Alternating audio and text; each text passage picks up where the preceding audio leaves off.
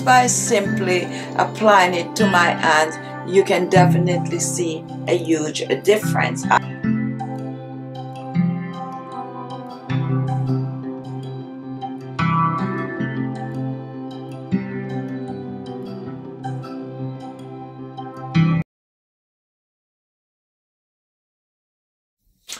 Hello everyone. Welcome to my channel and welcome to today's uh, video hyperpigmentation on the skin spots blemishes all over your body. A large patch or a very tiny patch such as a, a blackhead mark or even an acne scars. Today i'm going to make a remedy and here it is. This is a dark spot remover remedy. Now I just blend some wonderful dark spot remover ingredients ingredients that contains like sulfur and zinc and antioxidant and vitamins that will help to clear the skin of the hyperpigmentation very very fast. So if you have large patches on your body if you have dark elbows dark knees dark inner thighs this is gonna help tremendously. So come with me to the kitchen and i'll show you how to whip this up in no now here are some of the things that you're gonna need to effectively make this recipe. You are gonna need a blender or a grater whichever either either you're going to need a small bowl. You're going to need a strainer and you're also going to need some cotton pads for application. Now let's move on to the ingredients. Now take a look at the first ingredient and as you can see here it is a red onion. Now if you do not have red onion you can choose to use the white onion or even the yellow onion. Just use whatever onion you have. However I chose red onion today because the red onion have a slightly more antioxidant than the white onion. The yellow onion also have an higher amount of antioxidant.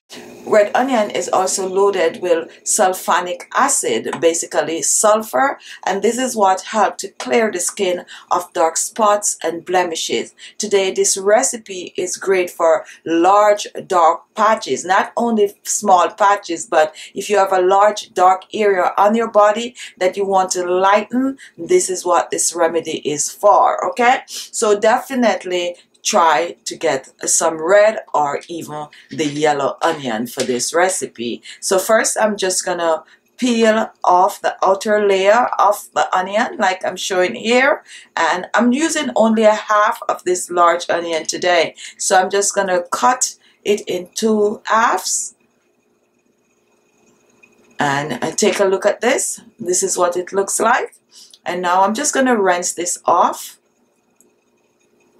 once rinse here it is and now I am gonna chop the onion for easier blending. Now at this stage, if you do not have a blender, go ahead and use your grater like this and just grate the onion. However, I have a blender, so I am going to be blending.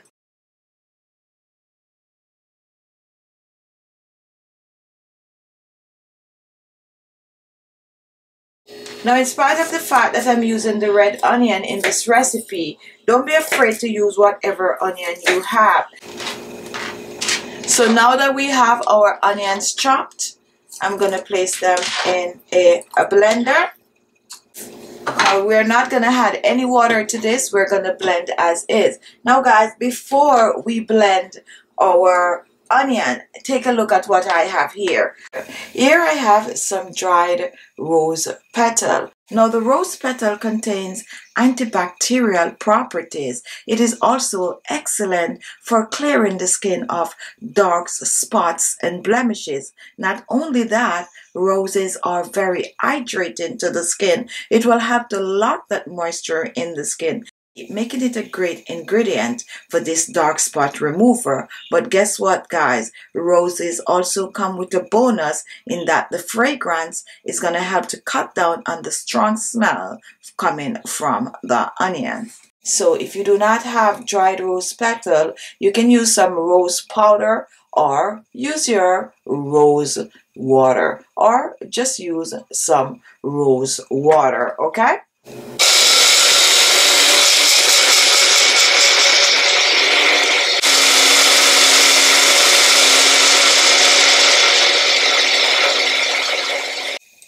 So next we are gonna be straining our blended onion. Now take a look at this. This is what it looks like after it is blended. If you ever blend onion and open it, you're gonna see like smoke coming out of it. That is from the sulfur from the onion, so not to worry. So we're gonna dump this in the strainer. Make sure to get everything out. We're just trying to extract the juice here. Okay. Now once this is done, we are just going to press, squeeze it through the strainer. Squeeze.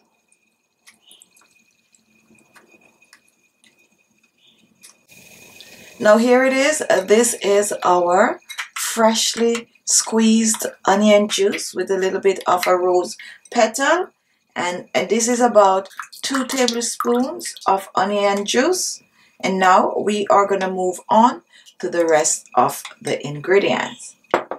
And take a look at what I have here. Here I have some carrot seed butter. In my opinion, carrot seed butter or carrot seed oil is one of the better oil to use for hyperpigmentation because it's have this high content of beta carotene.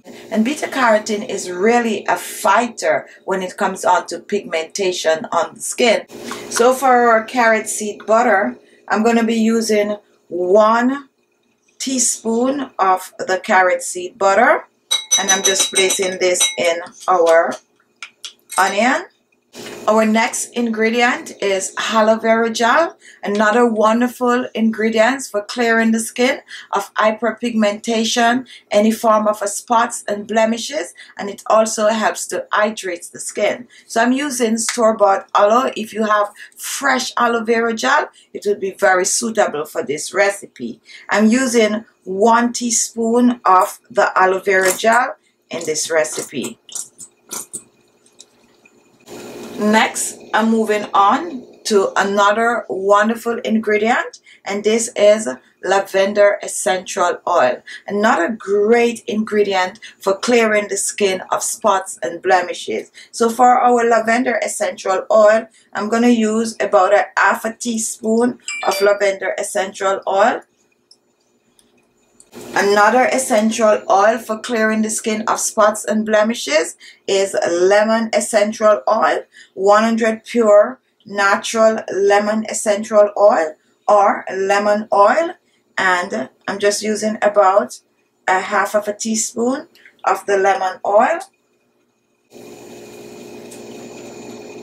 And now I'm just going to blend this together. Just mix well at this stage, you can choose to pour this back in the blender and blend, which is what I'm to do so that the oils could fully blend in the onion juice.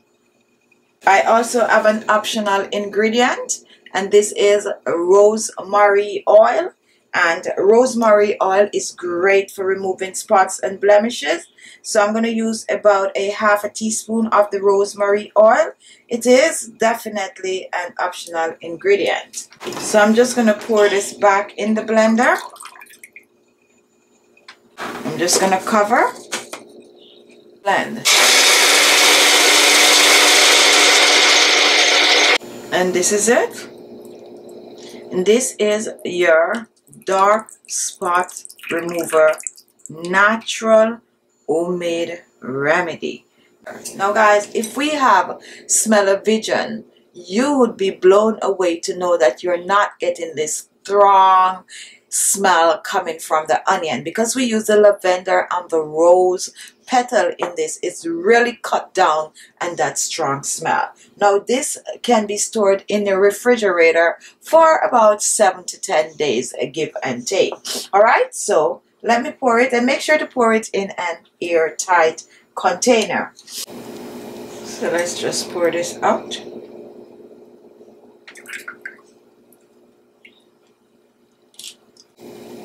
we have a very strong lemony rosy smell coming from this.